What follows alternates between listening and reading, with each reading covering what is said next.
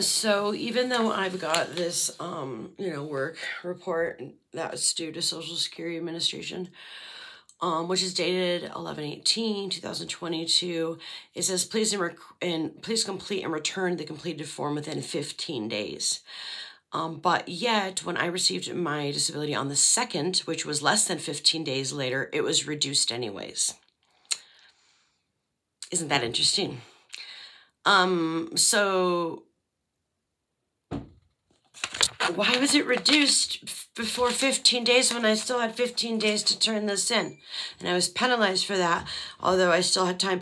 Now, you know, the thing is, I probably would have had this turned in right away if I wasn't trying to continually go to the Social Security office and continually trying to keep sending the same proof of uh, the termination being not the same as what he is reporting on the end, the manager. Um, so, and then another thing about that is, so one night after the manager comes back from playing poker all night and is working, which happened many nights, he would be out playing poker all night.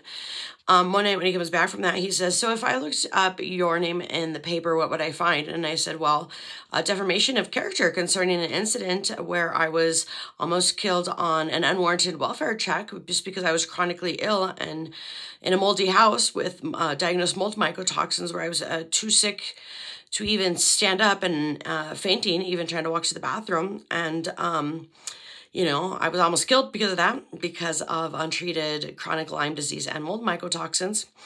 And um, then the paper left defamation of character concerning the whole thing. The whole thing was dropped. Every single charge was dropped. Um, even the public defender thought it was unfair that they put that in the paper. And even the person, I don't remember what her title is, that is that like main prosecutor defender person at the courthouse said that they should be removing the tags the newspaper should be removing the tags from that incident which um, i called and they didn't.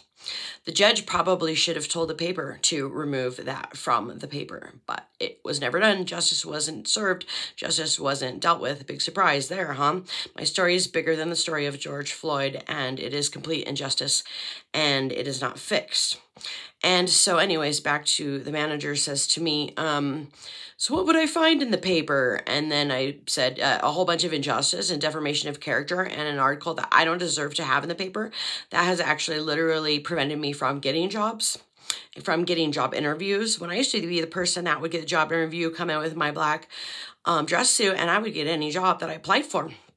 And a lot of times I don't even get interviews or I don't even get responses now to the defamation of character from the paper concerning um, being an innocent victim of, um, you know, what shouldn't have even been a warranted, uh, what shouldn't have even been a welfare check in the first place. I wasn't suicidal. I wasn't going to hurt anybody.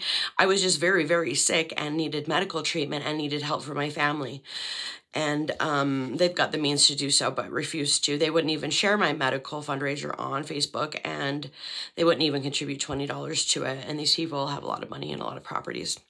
Anyways, um, after he says to me about, he brings up the newspaper article after playing poker all night with mob. he starts to follow me around and says, ticking time bomb, ticking time bomb, ticking time bomb, ticking time bomb. And then from that moment, I was targeted at my job. Um, there were things that were unfair concerning like the divvying of tables and them being given to another server when it was my turn to get the next table. And um, I had gone in earlier to set up.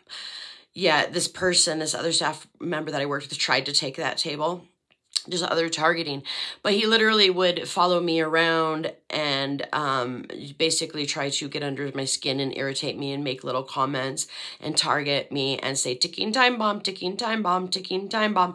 And that was basically right after he brought up the um he brought up the the thing in the paper. Um and then uh in addition to that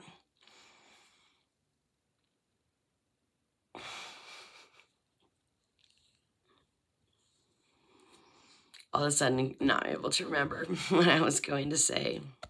Head ringing in a big way. Um, this device is burning. Gotta go.